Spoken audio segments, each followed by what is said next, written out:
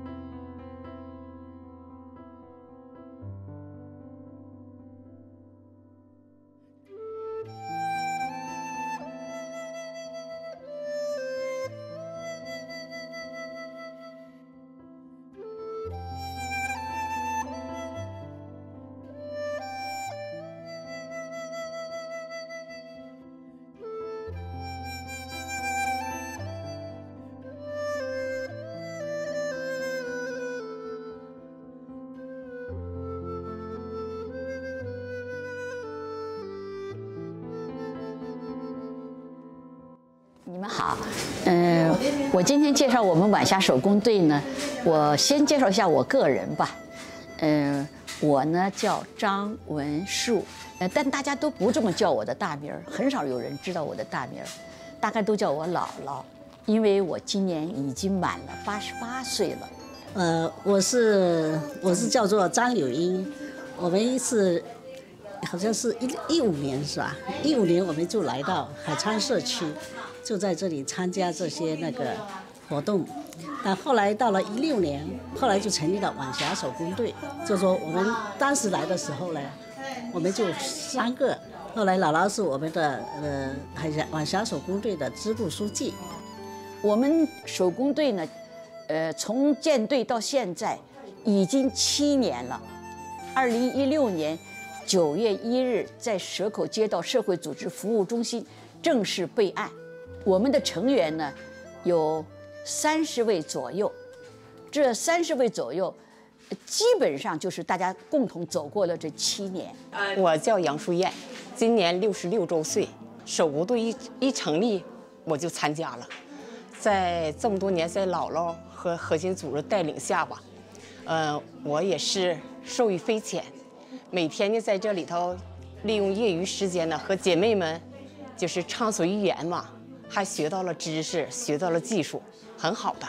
啊，我叫黄冬梅，今年七十二岁了。我离不开我们晚霞队儿，我还是呃那个离不开这些姐妹们，好像跟她们有了深厚的感情。我就还坚持，就是坐车要坐两站路，还要走一段路过来，每次都坚持。我们每个礼拜二、礼拜四开展手工队的活动。一般来说，礼拜二的下午就是唱红歌，呃，礼拜四的下午呢就是做手工。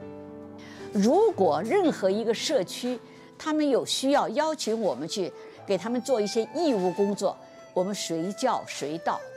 在我们手工队内部，大家都是在那儿想着怎么样子做手工也好，串珠也好，做丝网花也好，总是想着一针一线，一珠一线，总关心。这是我们晚霞手工队的这个做丝网花的情况。这个丝网花呢，我们呃有的人就分工是做这个这个这个丝网花瓣儿的这个隔架子，然后有的人呢就是把那个丝绸缠到这个骨骼上，变成一个一个的花瓣儿。嗯。然后还有一些姐妹们呢，就在后面那样的，她就把每一个瓣儿每一个瓣儿呢组成一个花朵。我们你别看我们做这个花吧，呃，实际上每个人都挺认真的，带着情感在那儿做。因为我们做完这个以后呢，我们都要去赠送给别人，或者是义卖。义卖以后的钱，我们全要进行扶贫助学的。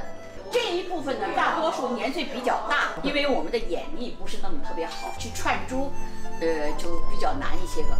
但是我们的手工好，我们平常做香囊、做香包，呃，做这个单肩包，这个组做的比较多。我们这一组是手工队的另外一部分姐妹们，他们是做那个串珠，他们年龄比那个组的年龄要小一点，眼力好，所以他们串珠做的特别好，特别快。